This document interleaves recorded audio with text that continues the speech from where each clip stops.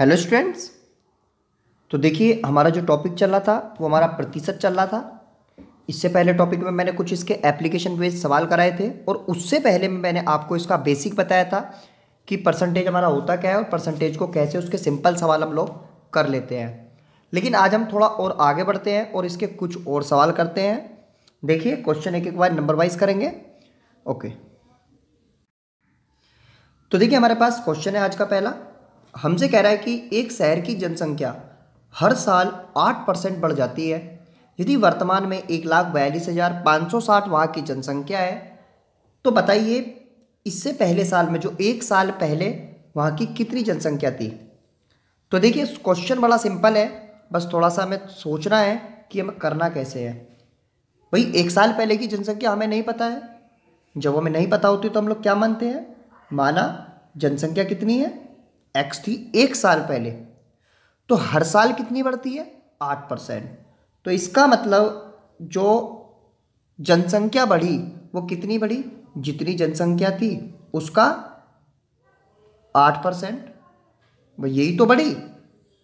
जब संख्या, भाई मैंने माना कि मेरे पास कोई दस रुपये है, वो अगली साल को उसके रुपए मतलब दो रुपये बढ़ जाएँगे। तो कितना हो जाएगा? दस में मैं दो और जोड़ दूँगा। यही तो होगा। बिल्कुल सेम यहीं पे करना है। भाई एक साल पहले कितनी जनसंख्या थी एक्स अब कितनी बढ़ गई? एक्स मतलब कि एक्स गुणा आठ बटे सौ तो किसमें जुड़ेगी?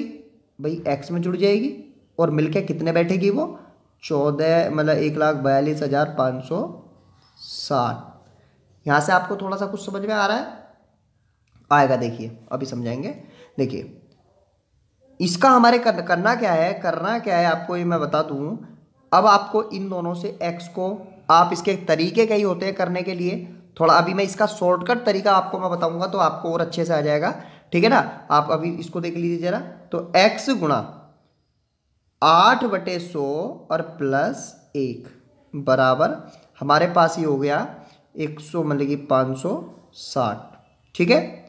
अब आप यहाँ से क्या है? एक्स की वैल्यू निकालेंगे। तो एक्स की वैल्यू निकालने के लिए यहाँ से सबसे पहले आपको इसको सॉल्व करना पड़ेगा। ये जो आपका ये वाली वैल्यू है, ये वाली वैल्यू है हमारी कितनी आ जाएगी? देखिए एक्स गुणा ये हमारे पास आ जाएगी सौ और सौ प्लस आठ और बराबर जो हमारे पास मतलब कि चौदह मतलब कि पच्चीस और ज़ीरो ज़ीरो। इतनी बात समझ में आई? अब क्या करना है, इसको आप सॉल्व कर दीजिए और हमारे पास x की वैल्यू आ जाएगी। x बराबर आप सौ को इधर मल्टीप्लाई में ले जाइए। चौदह पच्चीस और बयालीस और गुणा सौ, क्योंकि मैंने इससे पहले वीडियो में आपको बताया था कि नीचे वाली संख्या ऊपर चली जाती है और ऊपर से 108 क्या आ जाएगा? नीचे आ जाएगा। अब आप इसको सॉल्व करना है। इसको आप जैसे ही इसको सॉल्व करेंगे तो देखिए इसको काट लीजिए। इसको काटेंगे देखिए जब हमारा आएगा तो ये हमारा कितना आ जाएगा? हमारा फिफ्टी फोर आ जाएगा और ये हमारा कितना आ जाएगा? पचास आ जाएगा। फिर आप इसे और काट लीजिए तो यहाँ पे हमारा कितना आ गया? पच्चीस आ गया और नीचे कितना आ गया? सत्ताईस आ गया। अब आप क्या करिए कि इसकी जो है, हमारे पास पच्चीस की और इसकी पूरे की मल्टीप्लाई करिए और सत्ताईस से भाग करिए। तो जब आप इसको भाग करेंगे तो हमारे पास उत्तर आएगा लगभग लगभग एक लाख इकतीस हज़ार नौ सौ चवालीस पॉइंट समथिंग तो ये नौ सौ चवालीस मतलब ये पूरा लगभग लगभग एक लाख बत्तीस हज़ार. वहाँ की क्या होगी? जनसंख्या बढ़ गई। ठीक है? एक लाख बत्तीस हज़ार के लगभग. अब देखिए, इसको मैं एक आसान तरीके में आपको इसी को बता रहा हूँ सवाल को, एक फॉर्मूला ड्राइव करके. ठीक है ना? अब आप इसको देख लीजिए ज़रा। यहाँ पर ये जो मैंने फॉर्मूला लिखा है, ये फॉर्मूला आपका इस सवाल को काफ़ी हद तक आसान कर देता है। आपको इतना जो मैंने बताया था, उतना सब सोचने की ज़रूरत नहीं है।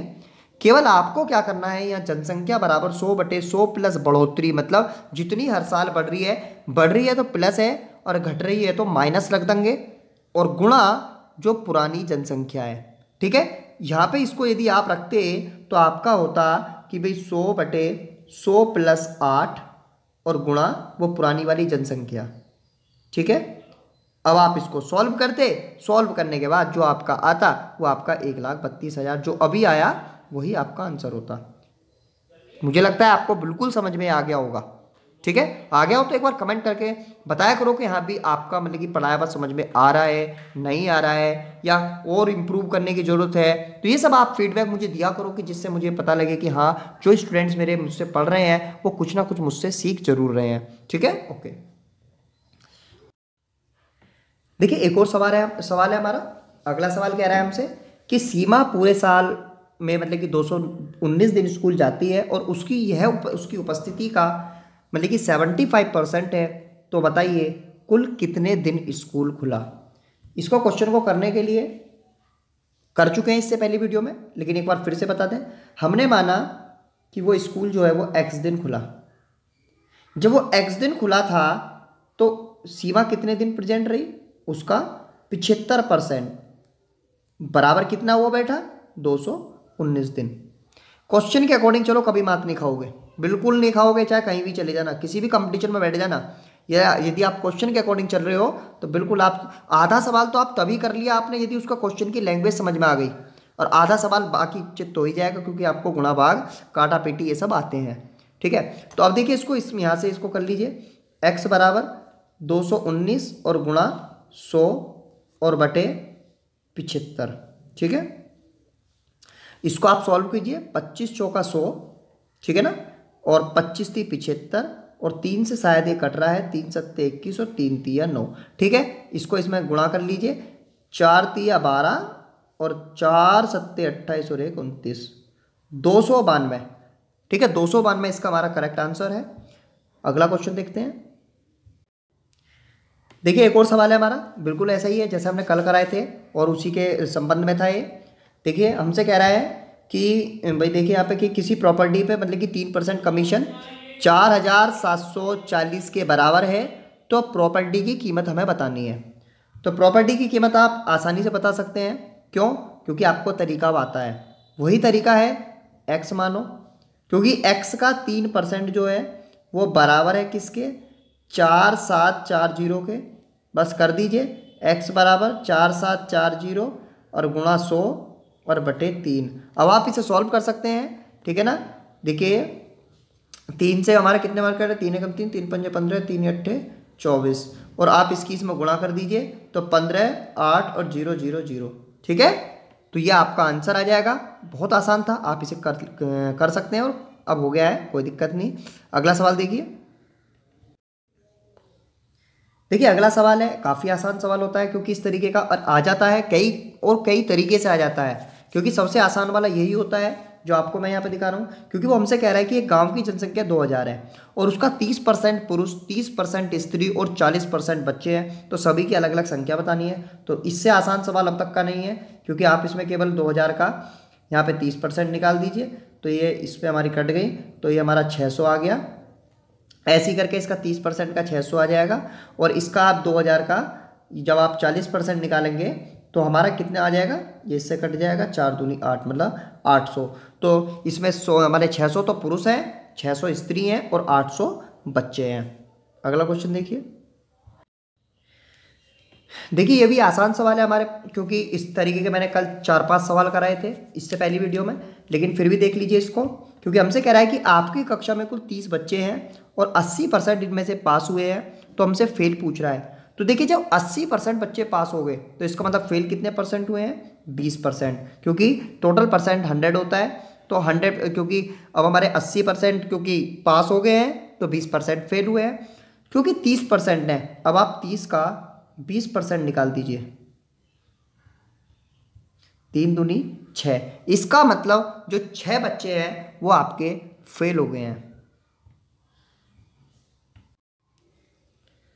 तो देखिए, अगला क्वेश्चन हमारा रेडी है। हमसे कह रहे हैं कि चाचा जी अपनी आय का तीस परसेंट खाने पर, वह पचास परसेंट अन्य खर्चों पर मतलब लगाते हैं। तो इनकी यदि आय अस्सी आठ सौ रुपये प्रति महीने है तो वे कितने रुपए बचाते हैं? तो क्वेश्चन को सुनते ही किस किस को अपने चाचा जी का ख्याल मन में आया? ये मुझे बताओ ज़रा। उसके बाद हम क्वेश्चन करेंगे। तो देखिए, पचास और तीस, अस्सी परसेंट तो उन्होंने खर्च खर्च कर दिया। क्योंकि उन्होंने चाचा जी ने तीस परसेंट तो खाने पर खर्च कर दिया और पचास परसेंट उन्होंने अन्य खर्चों पर कर दिया। अस्सी परसेंट, बचा कितना? बीस परसेंट, क्योंकि सौ परसेंट होता है भी बताया। तो बीस परसेंट तो इसका मतलब आठ सौ का वो बीस परसेंट खर्च कर रहे हैं, ठीक है ना? तो आप इसको यहाँ से निकाल दीजिए, अस्सी दुनी एक सौ साठ रुपये वो महीने के कुल एक सौ साठ रुपये बचा रहे हैं, ठीक है? अगला क्वेश्चन देखिए। तो आइए स्टूडेंट्स एक और सवाल करते हैं। गांधी आश्रम पर 20 परसेंट की छूट की घोषणा हुई है। यदि आपने दो सौ का सामान खरीदा है तो आपको कितने रुपए देने पड़ेंगे? तो आप एक काम करिए, सबसे पहले यहाँ पे 225 का आप 20 परसेंट निकालिए भाई। इसको आपने यहाँ से काट लिया। सॉरी एक कटा है। ठीक है ना? दो पंजे और ये कट गया पाँच चौक बीस और पाँच चौक बीस और पाँच पंजे पच्चीस। मतलब पैंतालीस रुपये की छूट हो रही है तो आपको देने कितने हैं? ये क्वेश्चन पूछा गया है। तो माइनस कर लीजिए ज़ीरो और यहाँ पे हमारा कितना है एक सौ अस्सी रुपये उन्हें देने पड़ेंगे, ठीक है? तो देखिए, हमारे पास एक और बिल्कुल सेम सवाल ऐसा ही है।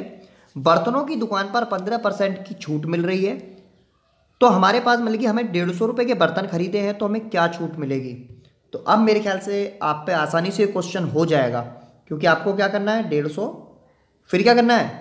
गुणा पंद्रह बटे सौ। ठीक है?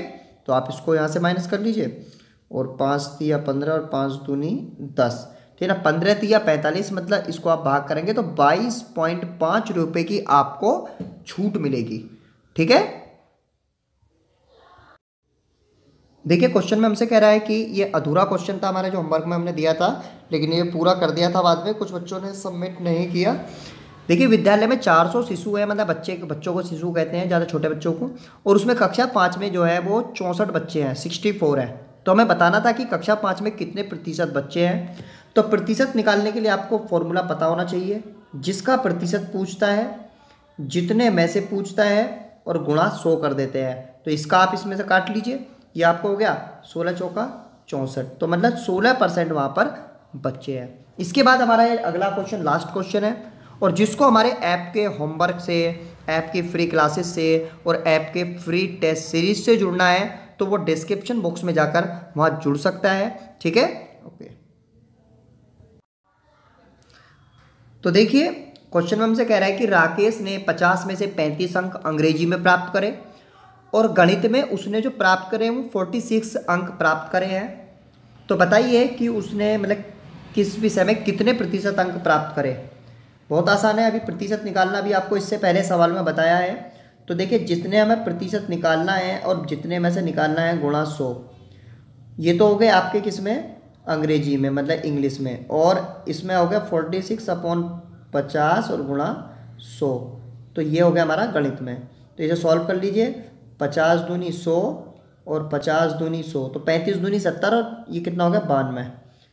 तो एक उसमें ने बाईस परसेंट अधिक अंक प्राप्त करें और अलग अलग में इतने अंक प्राप्त करें तो ठीक है, और अगला जो हमारा टॉपिक है, अब इसमें वो हमारा चलेगा।